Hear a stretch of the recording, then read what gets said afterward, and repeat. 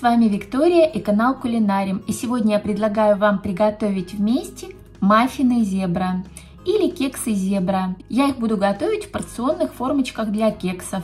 Это отличная выпечка к чаю, которая готовится очень просто, быстро и из доступных продуктов. Все ингредиенты для приготовления кексов должны быть комнатной температуры. Если вы достали кефир сразу из холодильника, то поставьте его секунд на 30 в микроволновую печь. В кефире погасим одну чайную ложечку соды. Хорошо перемешаем. Кефир начнет пениться, пузыриться, значит реакция соды с кефиром произошла. Вместо кефира можно использовать простоквашу или сметану. Замешаем тесто. В емкости смешиваем 2 яйца и 150 грамм сахара. Яйца с сахаром взбиваем в белую пышную массу.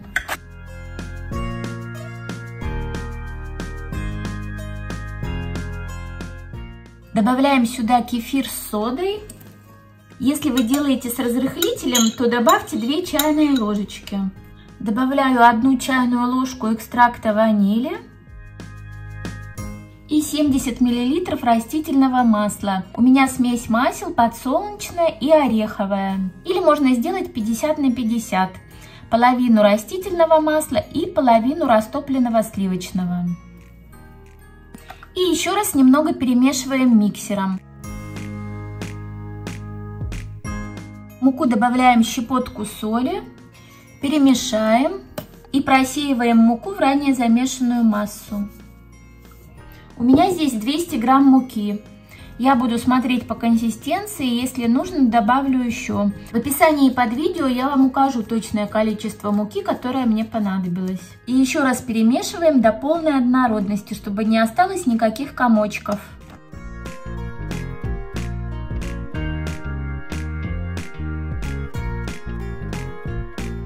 Консистенции тесто должно вот так стекать ленточкой с лопатки.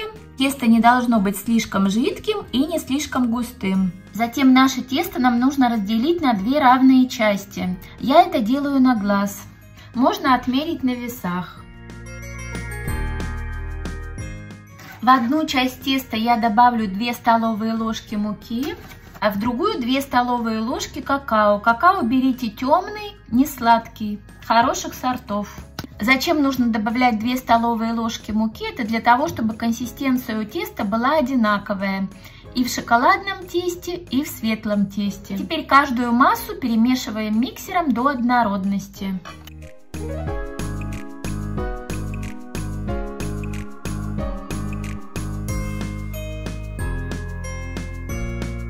В итоге у нас получилось два вида теста. Светлое и тесто с какао. Теперь подготавливаем формочки. Можно запечь одним кексом, можно сделать порционно, как я.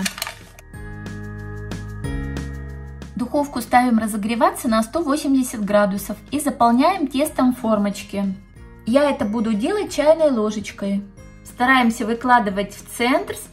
Сначала немного светлого теста, сверху в серединку темное тесто. Опять светлое тесто и темное тесто. И так заполняем до конца. Сразу по многу не добавляйте, чтобы у вас все не сплылось. А получился такой эффект зебры. Можно это сделать с помощью кондитерского мешка.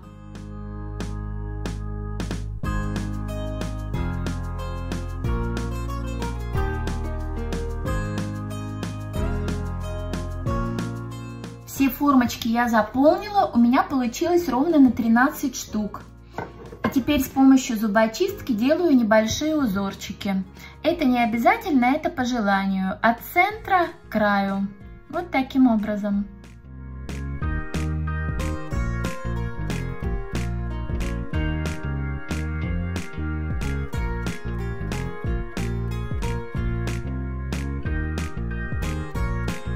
Отправляем запекаться тесто в духовку, разогретую до 180 градусов, ориентировочно на 25-30 минут.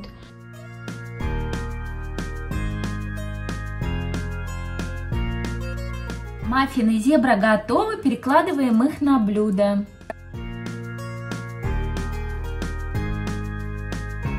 Давайте же поскорее посмотрим, какие маффины у нас получились внутри. Вот так они смотрятся снаружи. Вот я один уже разрезала. Посмотрите, как они смотрятся внутри. Это очень вкусно, красиво и оригинально.